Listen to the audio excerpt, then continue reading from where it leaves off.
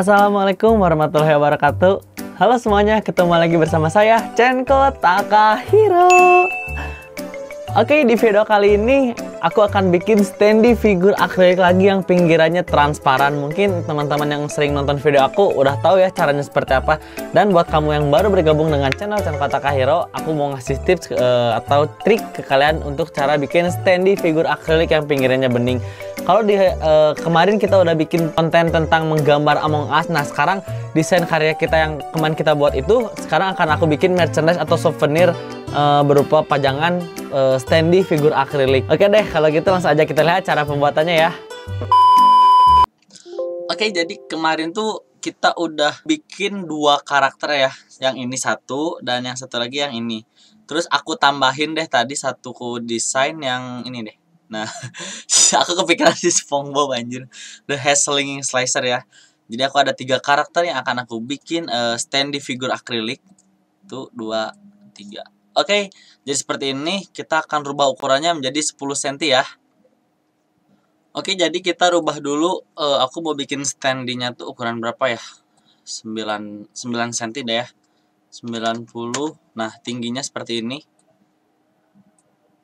Terus ini juga kita rubah jadi 6 90 ukurannya segede-gede gini ya. Terus kita akan rubah juga ukuran si ini ini kayaknya 60 juga up. Nah. Eh 90 sorry up. Nah. Nah oke okay, udah dapat aduh ngabisin yang ini panjang. Udah deh nggak apa-apa. Oke okay, nah. Seperti ini. Jangan lupa kita mirror. Tapi ini masih sayang gitu ya masih sedikit banget. Uh, aku mau tambahin lagi satu tiga karakter lagi mungkin ya. Sebentar aku ambil dulu yang udah aku setting.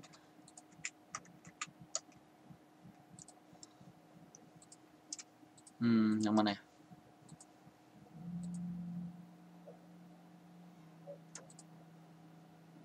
Aku sukanya warna ini deh si merah.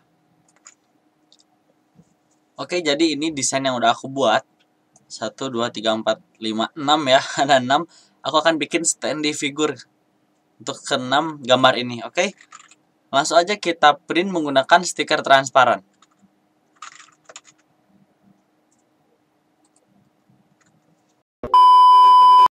Oke, okay, ini udah kita setting. Kita akan print menggunakan stiker transparan. Yang ini ya stikernya.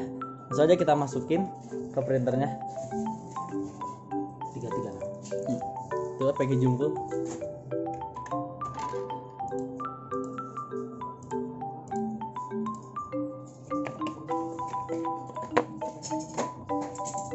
Oke, udah langsung aja kita print. Tunggu hasilnya keluar.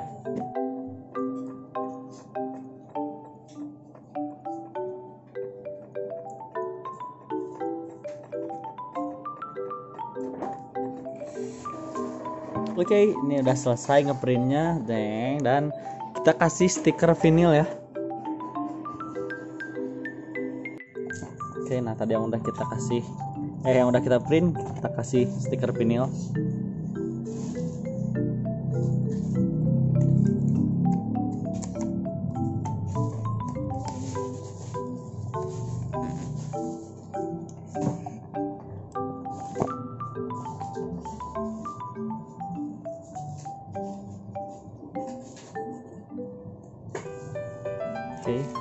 Lurus seperti ini, langsung kita masukin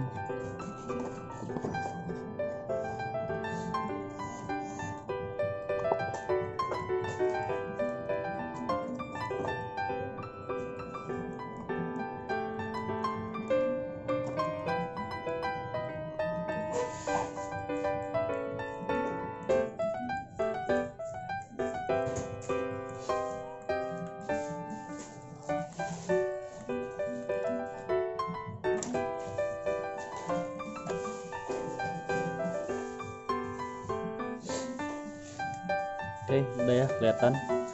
Kita potong dulu semuanya. Eh, pas dipasin nggak usah pakai garis putih. Oke selanjutnya kita akan potong eh, ini sesuai pola. Ini emang udah kelihatan kalau pakai stiker Scotland vinyl. Tapi di sini aku ngasih trik. Di bawahnya kita pakai cahaya atau flashlight. Nah setelah itu motongnya lebih gampang lebih terlihat. Nah, jadi kalau udah kelihatan gini tinggal kita potong udah kelihatan ada flashnya. Triknya ini. Tuh, kita buang dulu.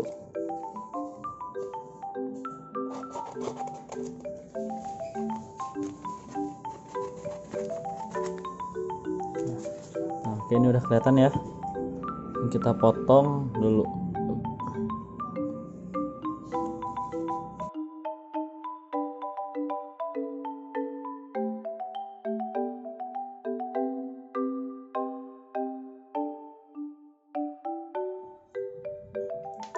Oke, nah ini udah kepotong seperti ini.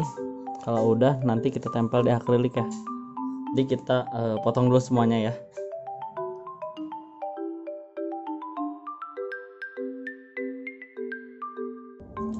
Oke, udah selesai semuanya udah kita gunting. Total ada 6 ya jumlahnya. Hmm. Ini sama ini yang bagian sulit-sulitnya.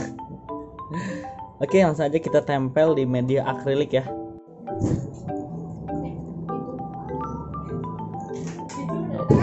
Ya. Oke nah ini kita tempelin dulu. Di akrilik aku pakai akriliknya yang 3 mili ya. Terus nempelinnya aku satu-satu biar rapi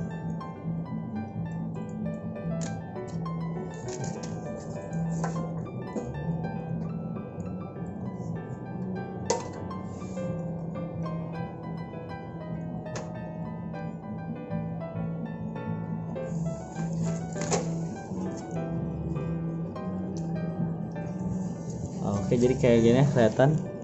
Nah, jadi nanti kita potong di sini framenya. Oke, jadi kita tempel dulu aja semuanya ya. Oke, jadi kayak gini hasilnya. 6 ya, dan 6 agak kotor dikit nggak apa-apa.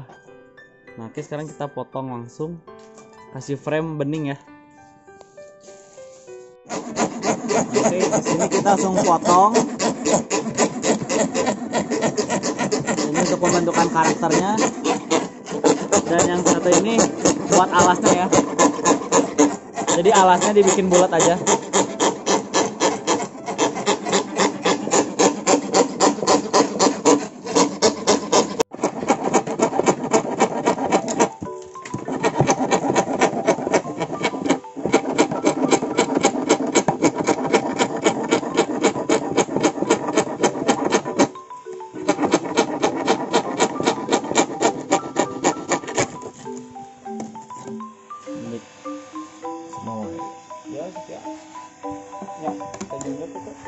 Hmm.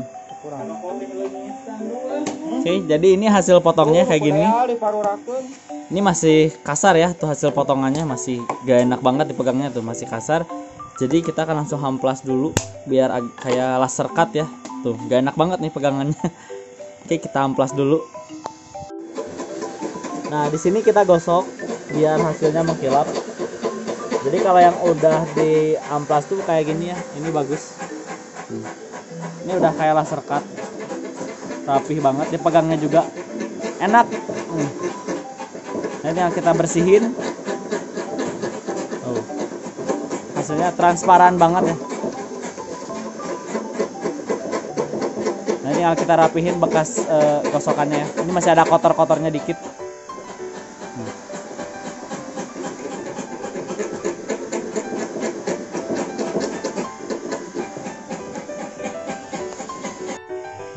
Oke kita bersihin sisa-sisa amplasnya ya. Pakai minyak kayu putih andalan saya. Uh, kalau kalian nggak ada bisa pakai solar. Tuh, jadi mencerang banget mengkilap. Tuh. oh men. Oke, nah kalau udah gini proses selanjutnya kita akan lem di atas uh, akriliknya pakai dudukannya ya. Oke, kita pakai lem akrilik supernya dulu ya.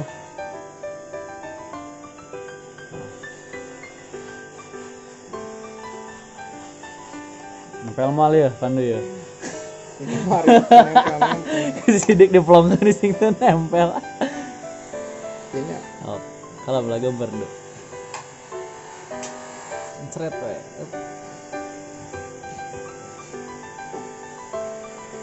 oke tahan dulu selama kurang lebih tiga menitan ya sampai si lem akriliknya mengeras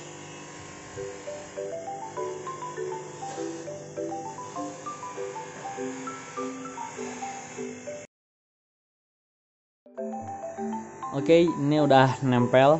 Tuh, cuman butuh sedikit aja sih untuk di lemnya. Jadi nempelnya tuh ah kuat lah pokoknya ya. Tapi kalau kalian mau lebih kuat ini bisa di resin ya. Ntar coba kita buka dulu ini si uh, ininya. Nah, paling nyabutinnya nah. Kertas sih tadi coklat. Oh, nah. nah. Oke, jadi ini udah kering. Kayak gini nih udah kita lepas si uh, kertasnya keren saya juga masih di lem ya ngelemnya ada tekniknya ya nggak bisa asal banjur bahasa Indonesia ada banjur itu naon sih banjur naon bahasa Indonesia ada banjur naon nah jangan eh naon jangan jangan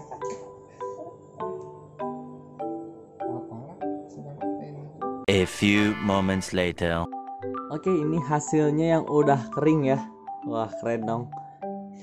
Lucu sendiri anjir. Tuh, keren ya. Belum lagi di oh, ini udah rapih banget potongannya, udah diamplas. Uh, ini yang crewmate di bawah, impostornya di atas. Mantap ya. Jadi kayak gitu cara bikinnya. Oke. Main buat pajangan. Bagus, apalagi lagi musim ya sekarang nanti aku bakal bikinin karakter atau karya-karya yang lainnya seperti Venom, The Slinging Slicer. Mungkin yang lain kayak Iron Man aku mau bikin juga ya atau karakter lain deh. Oke. Mantap.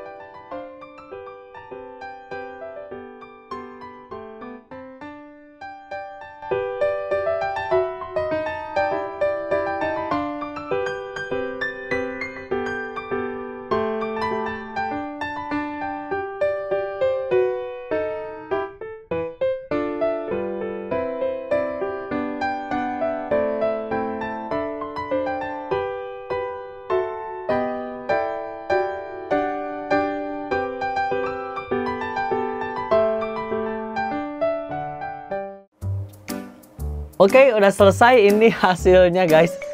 Nah, ini aku karakter yang aku bikin, aku terinspirasi dari film SpongeBob, The Head Slinging Slicer. Aku bikin jadi uh, karakter Among Us.